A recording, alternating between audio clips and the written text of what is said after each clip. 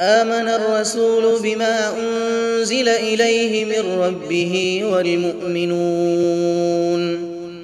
كل آمن بالله وملائكته وكتبه ورسله. لا نفرق بين أحد من رسله. وقالوا سمعنا وأطعنا غفرانك ربنا وإليك المصير. السلام علیکم ورحمۃ اللہ وبرکاتہ۔ ناظرین، علماء سروبروں کی محفل میں ہم آپ کا استقبال کرنے جا رہے ہیں اور پھر ہم جس مجلس بیٹھے ہوئے عقید اہل سنت والجماعت کی مجلس ہے، جس میں ہم نے فضل الشیخ عمران سلف حفظ اللہ کو دعوت دے رکھی ہے۔ شیخ، آج ہمیں جاننا چاہتے ہیں کہ لفظ مختار کل مختار کل ہم جلسوں میں، پروگرامز میں، پوسٹروں میں ہر جگہ دیکھتے رہتے ہیں۔ اب یہ ہم جاننا چاہتے ہیں کہ مختار کل ہے کون؟ جی۔ کیا فرشتوں میں سے کوئی ہے؟ یا نبیوں میں سے کوئی ہے؟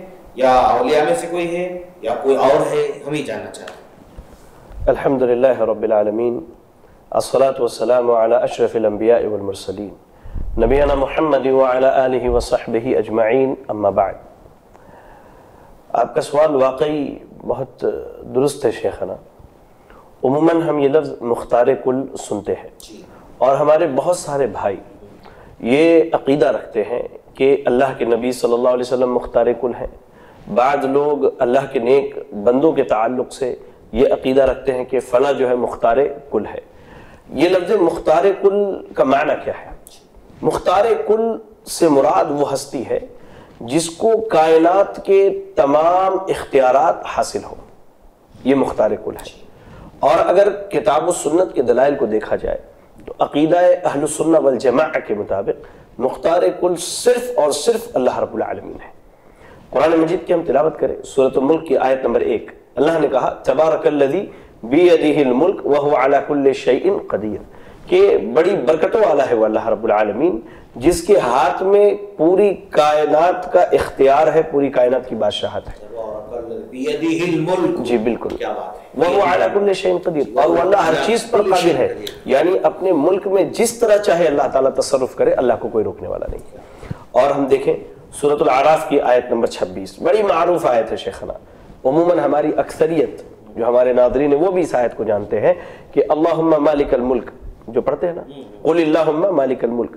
تؤتی الملک من تشاء وتنزع الملک ممن تشاء وتعز من تشاء وتذل من تشاء۔ ہم یہ اقرار کرتے کہ اللہ تو ہی مالک الملک ہے تو ہی آسمان اور زمین اس کے تمام چیزوں کا مالک ہے۔ اس کی ملکیت اس کے تصرف تیرے ہی ہاتھ میں۔ اللہ تو جسے چاہتا بادشاہت دیتا اور جس سے چاہتا بادشاہت کو چھین لیتا ہے۔ تو جسے چاہتا عزت دیتا تو جسے چاہتا ذلیل کرتا ہے۔ تو ملکیت مختار کل ہونا تصرف مکمل کسی کے حق میں ہونا، تو یہ صرف اللہ رب العالمین کے لیے، حتیٰ کہ نبی صلی اللہ علیہ وسلم کے متعلق اللہ نے بیان کیا۔ جیسا کہ ہم صورت العراف کی تلاوت کریں تو آیت نمبر 188 188 میں اللہ تعالیٰ کہہ رہا قل اے نبی آپ کہہ دیجیے لا املک لنفسی نفعا ولا ضرا میں نفسی نفعا ولا اپنی ذات کے لیے بھی نبی نے میں اپنی ذات کے نفع اور نقصان کا مالک نہیں ہوں الا ماشاء اللہ.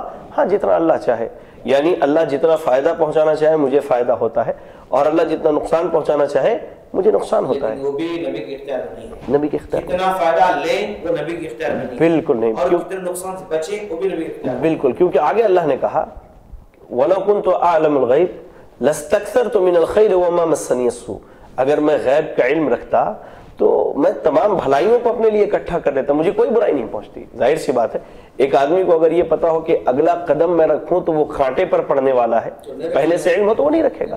تو نبی صلی اللہ علیہ وسلم کی زندگی میں بہت ساری پریشانیاں آئیں، تکالیف آئیں، مصیبت اور مشکلات آئے تو اس میں آپ تصرف کی قوت نہیں رکھتے تھے، طاقت نہیں رکھتے تھے، آپ کو اختیار نہیں تھا۔ وہ اللہ کی طرف سے تھی، اس لیے مختار کل ہونا، یہ صرف اور صرف عقیدہ اہل السنہ والجماع کے مطابق اللہ رب العالمین کی صفت ہے اللہ کا خاصہ ہے یہ کسی مخلوق کو ہم نہیں دے سکتے۔ سکتا ہے۔ جی۔ جی، بالکل۔ ناظرین دیکھا آپ نے مختار کل صرف اللہ کی ذات ہو سکتی ہے اور اس کے علاوہ کسی کے ہونے کا تصور نہیں جا سکتا ہے۔ جی۔ بس دعا کرتے ہیں اللہ تعالی ہم تمام کو اپنے عقید اصلاح کی توفیق عطا فرمائے۔ آمین۔ السلام علیکم ورحمۃ اللہ وبرکاتہ۔ اور مزید ویڈیوز کو دیکھنے کے لیے آپ ہمارے یوٹیوب چینل کو سبسکرائب کریں۔ فجزاکم اللہ خیرہ